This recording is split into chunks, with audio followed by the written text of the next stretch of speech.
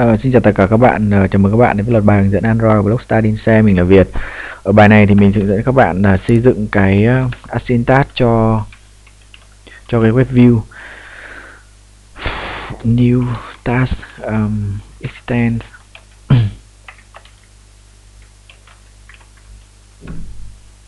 Uh, void. Void. Bởi vì chỗ này chúng ta không cần phải làm gì cả. Ờ, chỉ cần đẩy cái thằng kia vào đây thôi. Đẩy cái thằng này. Đây là cái chúng ta muốn.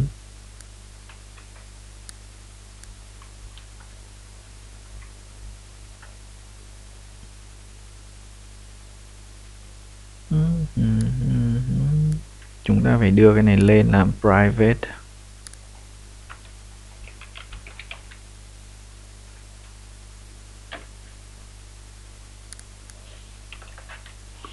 Ví dụ này khi nó load ở đây thì ở đây chúng ta cũng cần phải start nó đúng không? Chúng ta cần phải uh, new new start chấm execute. Thì ở đây chúng ta không cần tham số và nó sẽ chạy như này. Thì trong trường hợp này nó chạy thì um, chúng ta vẫn cần một cái nữa đấy là cái um, cái thằng um, dialog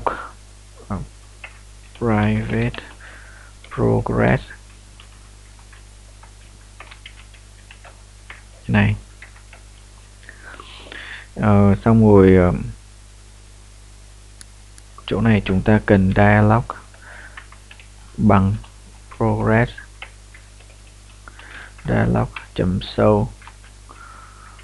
Uh, this lắm uh, rỗng.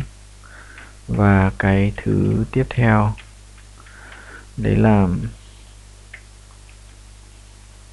loading new. Ví dụ như này. Thì ờ, đấy là cái phần và mình sẽ giới thiệu cho các bạn một cái hay của thằng này, đấy là on progress if dialog chấm à, quên nhầm. Different with null dialog chấm dismiss. Như này. Thì um, cái um, liệu các bạn sẽ thấy là liệu thằng này nó có hoạt động thành công hay không nhé. Các bạn à, bây giờ chúng ta xem kết quả. Ờ, thì chúng ta chạy thử trang chủ.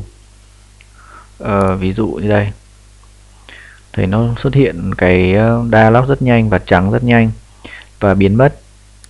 Hoặc là ví dụ cái tin khác.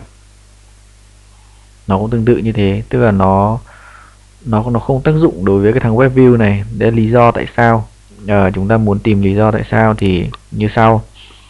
Đầu tiên cái web view này nó nó có một cái cơ chế mà không không như những cái thằng khác nó lốt tuần tự mà nó sẽ lốt thành một cái riêng. Và vì thế mà chúng ta cần phải có một cái web view uh, web client uh, để để chúng ta kiểm tra được làm thế nào chúng ta kiểm tra được là cái web view này nó lốt đã thành công hay không. Từ khi mà chúng ta dừng lại ở đây khi mà chúng ta vứt vào đây này thì cái câu lệnh này nó kiện và nó sẽ nhảy sang một cái khác và nó xem như kết thúc. Thì khi vì thế mà cái dialog này nó xuất hiện mỗi một tí và xong rồi là nó xong. Tại vì nó xem như chỉ là một dòng lệnh còn cái việc load là việc khác. Thì vì thế mà chúng ta cần phải thực hiện cái việc một việc nữa đấy là xây dựng cái cơ chế làm thế nào để chúng ta setting được cái cơ chế cho cái web view này load được kiểm tra được cái việc uh, việc um, thành công kết thúc cái việc load ờ, dữ liệu từ internet. Thì uh, bài đấy mình sẽ dành cho bài hướng dẫn cuối cùng bài tiếp theo. Cảm ơn các bạn đã quan tâm theo dõi.